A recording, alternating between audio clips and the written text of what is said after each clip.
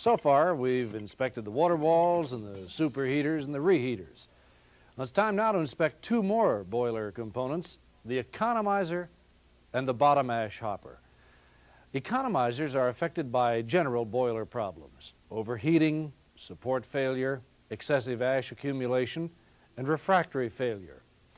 Since the economizer is a tube-type component, it's also subject to tube thinning and soot blower problems. Excessive ash accumulation is a particular problem in the economizer. Most economizer tubes have fins or gill rings that can become blocked with ash more easily than bare tubes. There's another problem.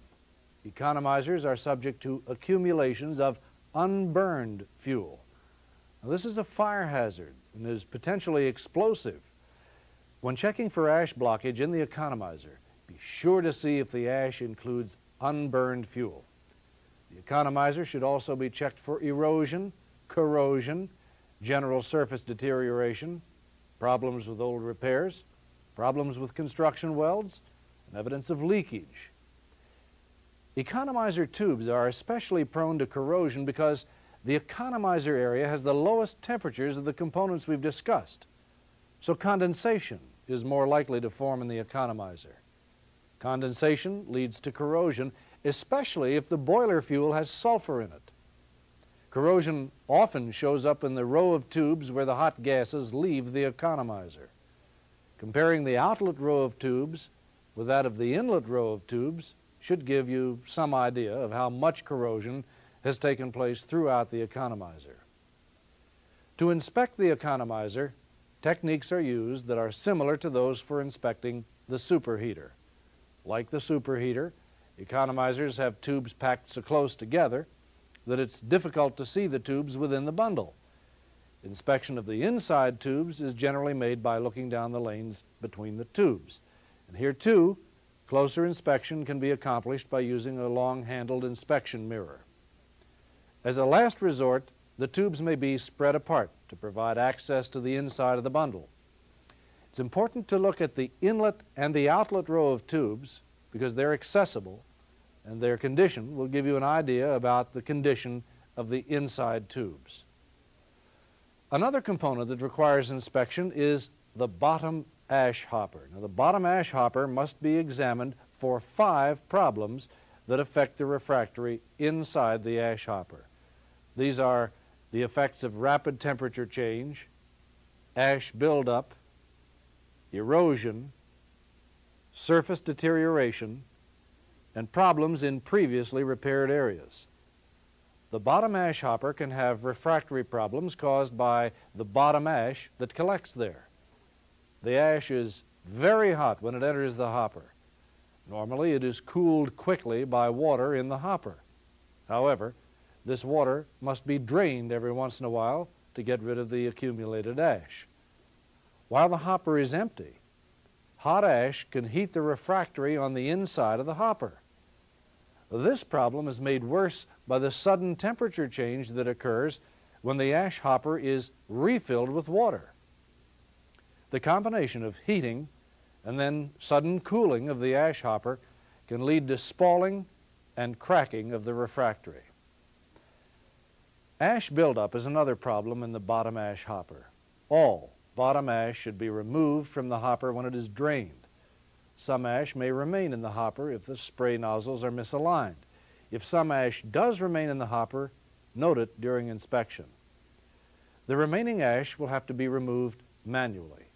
Early detection and correction of a problem within the ash hopper will avoid repeated manual ash removal. Another problem that can show up in the ash hopper is erosion of the refractory. Anytime water flows over refractory, there's the possibility of erosion.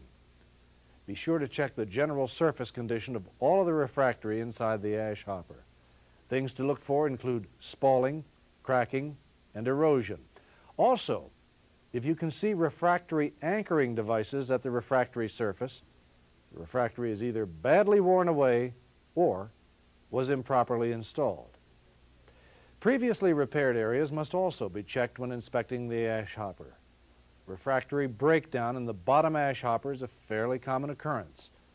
An ash hopper's refractory may be repaired many times, so inspect the refractory to make sure it's holding up. Four more areas in the ash hopper are concerns during an inspection.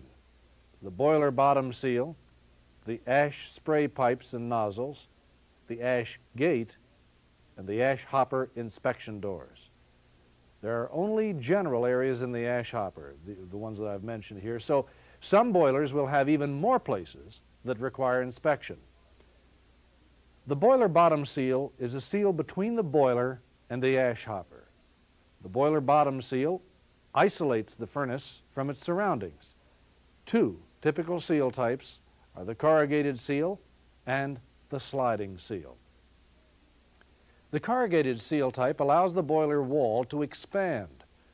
The corrugated seal is accordion-like, an accordion made of corrosion-resistant steel.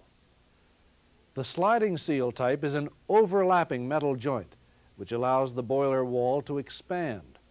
This type of seal uses water to prevent any flow of gas into or out of the boiler.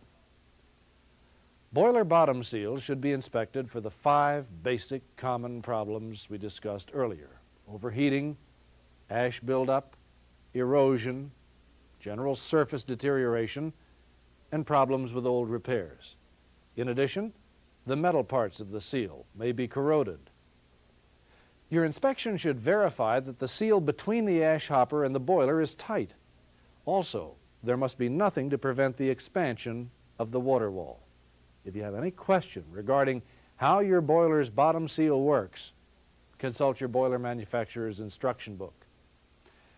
Most ash hoppers use pressurized water to stir up the bottom ash being removed from the boiler. This helps get all the ash out of the boiler. Pipes and nozzles are used to direct the water spray. You must inspect these pipes and spray nozzles for ash blockage and misalignment caused by clinkers falling on them. The nozzles are aligned correctly if they direct their spray towards the, air, uh, the ash gate, that is, where the ash leaves the boiler. And the nozzles should not spray directly at the refractory. That'll wear it away. The bottom ash hopper's ash gate should be inspected for proper operation by opening and closing it several times. The ash gate is underwater most of the time, so it has its own seals to prevent leakage. When you inspect the ash gates, these seals should be checked for any signs of leakage. These include corrosion, nicks, tears, burn spots, and torn gaskets.